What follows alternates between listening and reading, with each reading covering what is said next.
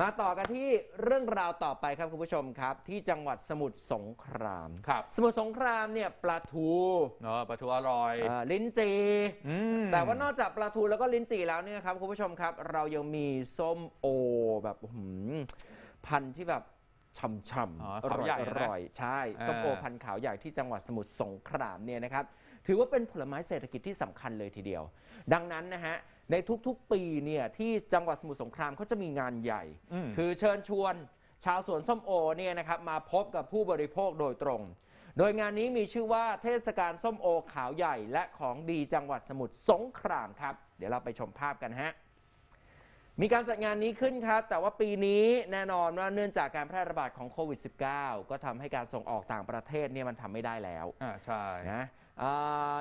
หรือแม้กระทั่งการจะจัดงานเป็นอีเวนต์เลยเนี่ยเพื่อที่จะเพิ่มช่องทางการจัดจำหน่ายอันนี้ไม่ได้แน่นอนก็ล็อกดาวน์อะนะอ่าใช่ไหมครับอืมขณะที่นักท่องเที่ยวนั้นหายไปกว่า 90%เลยฮะเยอะมากครับทำให้ส้มโอที่กำลังให้ผลผลิตจำนวนมากแล้วก็รสชาติดีในช่วงนี้ต้องล้นตลาดแล้วก็ราคาตกต่ำครับอืม โดยกำนันมนัทบุญพยุงครับ เป็นกำนันตำบลบางสะแกอำเภอบางคนทีจังหวัดสมุทรสงครามเนี่ยในฐานะเกษตรกรชาวสวนส้มโอบอกว่า ชาวสวนในยุค 4.0 ต้องดิ้นรนอืมโดยการนำเทคโนโลยีการค้าขายทางออนไลน์เข้ามาช่วยแล้วล่ะนะมันไม่ไหวแล้วส่งออกก็ไม่ได้ไงครับจัดอีเวนต์ก็ไม่ได้อืมก็เลยต้องออนไลน์กันเนี่ยแหละครับ เพื่อที่จะหวังการส่งออกต่างประเทศ หรือว่าการท่องเที่ยวนั้นเนี่ยตอนเนี้ยคือหมายถึงว่าถ้าจะหวังให้ส่งออกต่างประเทศ หรือว่าการท่องเที่ยวตอนนี้หวังยากแทบจะละอื้อหืออมมันต้องรอไม่รู้เหมือนกันใช่ครับว่าโควิด -19 เนี่ยมันจะเบาบางลงหรือว่าหมดไปเมื่อไหร่ด้วย โดยกำนันมนัทนะครับบอกด้วยนะครับว่าช่วงศาสตร์จีนแล้วก็ตรุษจีนทุกปีส้มโอขาวใหญ่เนี่ยโอ้โหจะขายดีที่สุดเลยอืมแต่ปีนี้การแพร่ระบาดของโควิด -19 นะครับนอกจากจะทำให้ส้มโอนั้นขายไม่ออกแล้ว ยังทำให้ราคานั้นตกต่ำอย่างมากเลย โดยตอนเนี้ยหน้าสวนนะฮะขณะนี้เหลือกิโลกรัมละ 30 บาทครับอืมจากที่เคยขายได้ถึงกิโลกรัมละ 45ถึง50 บาทขึ้นไปอืมนะครับดังนั้นการขายส้มโอทางออนไลน์ จึงเป็นช่องทางหนึ่งเลยที่จะสามารถช่วยเกษตรกรได้ แล้วก็เป็นการระบายผลผลิตด้วย เดี๋ยวเราไปฟังเสียงกำนันกันครับรา คาส้มโอข่าวใหญ่ในพื้นที่ของตำบลบางสะแกในช่วงภาวะโควิดเนี่ยช่วงศาสตร์จีนคราวนี้นะครับ ราคาก็หน้าส่วนจะอยู่ที่กิโลกรัมละ 30 บาทนะครับ จากราคาปกติที่เราจะขายได้อยู่ที่กิโลกรัมละ 45 บาทถึง 50 บาท ก็ถือว่าราคาตกลงมา ช่องทางหนึ่งที่เกษตรกรใช้ในการแก้ปัญหาในช่วงราคาผลผลิตส้มโอตกต่ำเนี่ยช่องทางหนึ่งก็คือทางออนไลน์นะครับทางโซเชียลทาง Facebook ทางไลน์ ราคา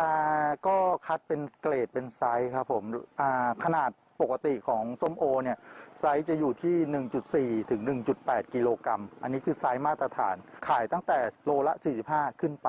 ใน 1 กล่องเนี่ยเกษตรกรจะขายกับผู้ที่ซื้อเนี่ยจะใส่ส้มโอได้ประมาณ 8 9 หรือ 10 ลูกนะครับ ไม่เกิน 15 กิโลต่อ 1 กล่อง ราคาส่งจะอยู่ที่ประมาณ 185 บาท 200 บาทแล้วแต่ ช่องทางอื่นที่ยังเป็นช่องทางหลักก็คือยังผ่านลงส้มโอ ผ่านพ่อค้าคนกลาง เนื่องจากว่าปริมาณส้มโอ ในแต่ละส่วนเนี่ยเป็นตันนะครับ เราจะมาขายทางออนไลน์อย่างเดียวเนี่ยไม่ทัน เพราะช่องทางการออนไลน์เนี่ยขายเป็นวันนะครับ วันหนึ่งได้ 10 กอง 5 กอง 20 กองแล้วแต่ไม่แน่นอน ปกติแล้วสมุทรสงครามก็จะจัดงานทุกปีในช่วงก่อนศาสตร์จีนนะฮะ ปีนี้ก็หมดสิทธิ์เลยจัดไม่ได้กิจกรรมอะไรก็จัดไม่ได้เลย เพราะฉะนั้นอ่าทางเลือกของเกษตรกรเนี่ยแทบไม่มีเลยครับตอนนี้อืม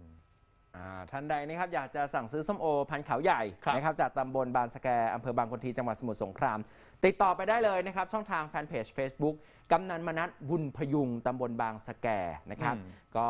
ติดต่อได้ทุกวันครับหรือว่าจะโทรศัพท์ไปสอบถามนะครับ ที่หมายเลขโทรศัพท์นะฮะเราขึ้นหน้าจอ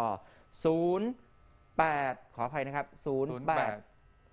082 086 นะฮะ อะ ขออ่าอ่าคือหน้าจอนี้ถูกแล้วนะ ครับ 086 นะครับ 794 6347อ่าอ่า นะ อะ เบอร์หน้าจอนี้นะครับ 086 794 63 สี่เจ็ด4อะ47 นะฮะอ่าโอเคนะฮะก็โทรศัพท์ไปสอบถามได้ ครับ อันนี้คือสั่งซื้อโดยตรงเลยนะครับ ครับไม่ผ่านใช่คนกลางอืมนะแล้วก็จะส่งให้ถึงบ้านด้วยนะครับใช่ อาจจะมีค่าส่ง นะครับ